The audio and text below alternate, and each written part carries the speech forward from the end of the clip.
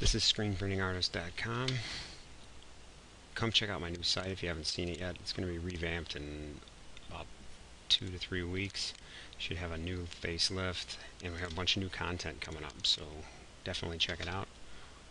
Um, today I'm going to show in this video how to quickly set up and separate a name drop in screen printing in CorelDRAW. I'm using X5 in this, but all this stuff will work equally in X6. So let me get rid of this. First, let's do all of our type. Go ahead and set it up.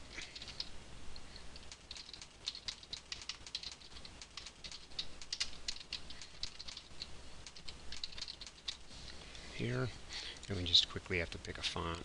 Usually I pick one font and then I can edit it later. So I pick this font. As you can see, the lowercase isn't working for the other font, but we can swap that out real quick. Go ahead and use a script font just to get some variation below it. This one we're going to make just a little bit of a collegiate look here. It's real common on t-shirts. Zoom out. Here we'll go ahead and use the envelope tool. Single arc, you hold the control key down, bump it up, and I like drag it down a little bit bigger. Then we can center it, use the P key to center it, drop our cursive for script font below it. Here we're just going to do a, um, if you hit the F12 key you'll get your outline. You can do like a four point outline on this. Um, and then we're going to do a quick fill which is kind of the point of this exercise and we're just going to keep it simple here to show how to set this quickly.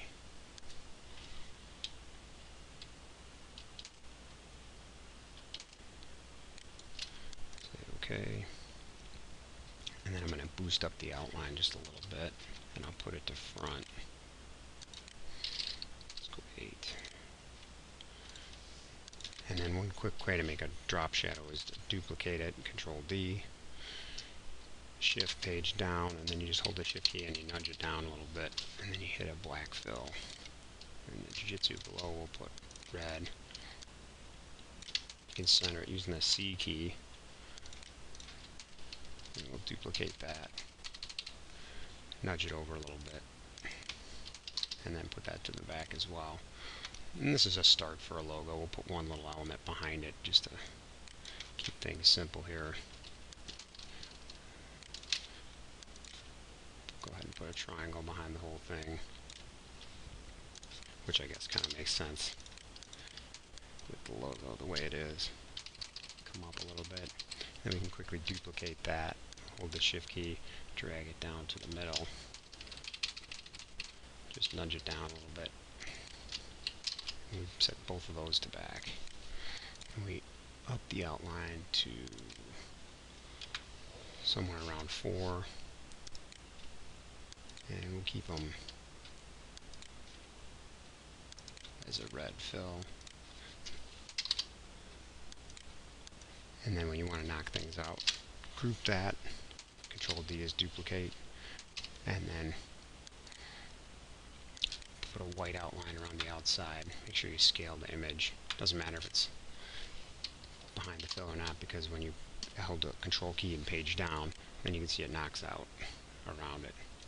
You could do the same thing here but for this uh, for this we're just going to get right into separating it quickly.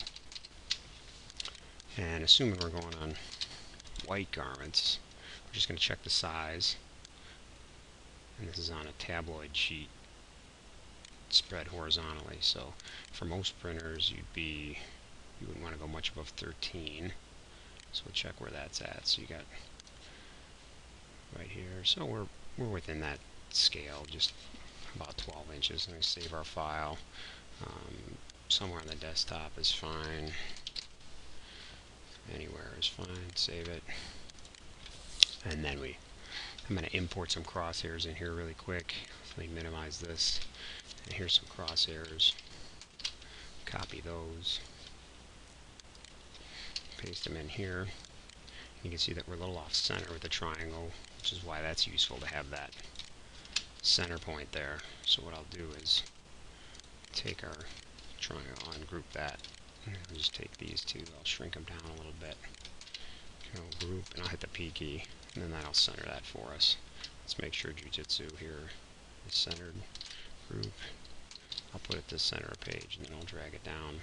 Looks like it is, but sometimes angled fonts you want to bump over just visually they don't look like they're off center. So now we're all squared up. Save the file again, Control S. I'm going to put my colors in down here for the separations. We'll go black, just go black, yellow, and red. And we'll hit OK to save that. And I'll ungroup it, and then I'll break it apart. And then what we do is we save this file. A lot of times I'll save a SEP version of it as well. And I'll make two, three more pages. I'll keep the top page as my full color version. I'll grab everything or Control A and I'll copy it. I'll go to the second page and I'll I'll paste that and then I'll go to the next page, paste it, next page, paste it. And then this first page is going to be our first color, which in this case is yellow. So I need to basically take out anything here that isn't yellow. There's a couple ways of doing it. If you have this handy uh, color replacer from Oberon, you can find that at oberon.com. You can use that. Um, you can use the edit, replace, replace objects to replace the colors. Um, if you have a simple design, a lot of times you can just grab elements quick and just go fill, fill. You know, right click, left click, fill them with white.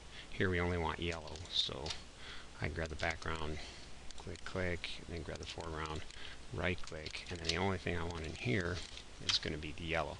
Now in this case I want the yellow to print first, and since the red's blending on top, the only halftone I'm going to have in here is the red, so I'm going to leave the yellow solid. So I'm just going to hit that with black, and then I have a solid yellow underprint, which will make a smoother blend. So, and then I'll go to the next one, which will be my red fill, so I want to get rid of these two.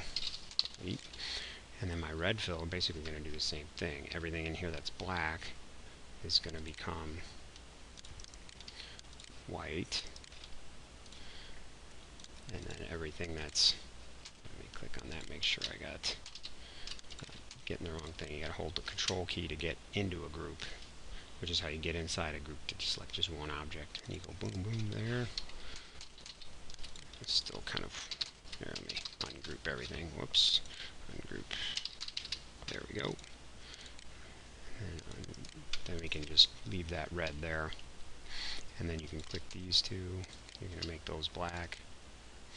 So make those black, make this red here. If I had a lot of little pieces, I'd probably use one of these scripts to see I can see some red in there somewhere. So let's see what happened here. Okay, it's red, so click. And then my last one is this red fade here.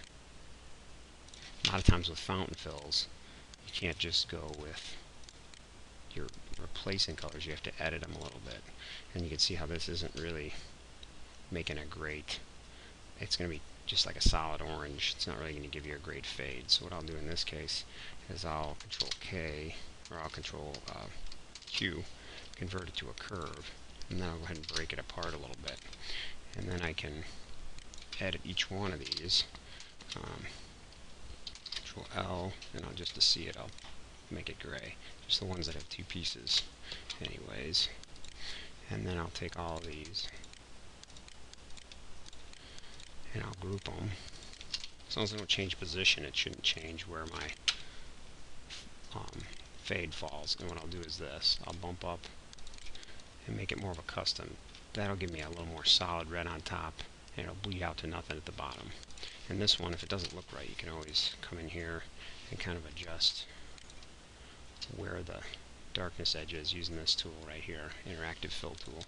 So now I got a fade that's going to give me a better look on the screen printed version. Here it'll be closer to this.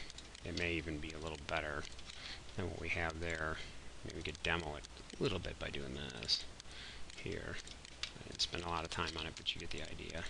Let's save this file so far.